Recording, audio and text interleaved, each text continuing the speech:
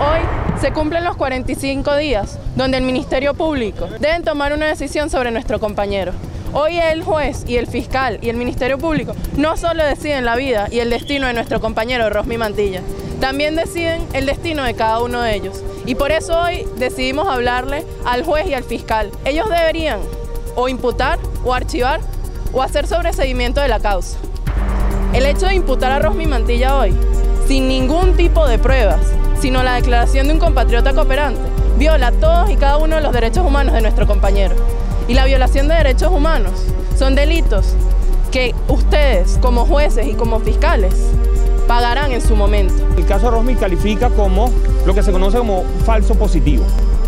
Este caso además nos preocupa, y no solo a nosotros, sino a organizaciones y activistas LGBT de Venezuela y de otros países por el hecho de que Rosmin es un activista LGBT, está comprometido con las luchas del movimiento como es la conquista del derecho a la familia y al reconocimiento del matrimonio igualitario en Venezuela. Esto es un ataque directo contra nuestra lucha, un ataque que se inscribe dentro de lo que ha sido una actitud sistemática del gobierno. Desde hace 15 años se ha negado eh, derechos eh, constantemente, todas nuestras iniciativas en la Asamblea Nacional controlada por el gobierno han sido desechadas, la homofobia ha sido constante, activa en el discurso de los funcionarios de gobierno.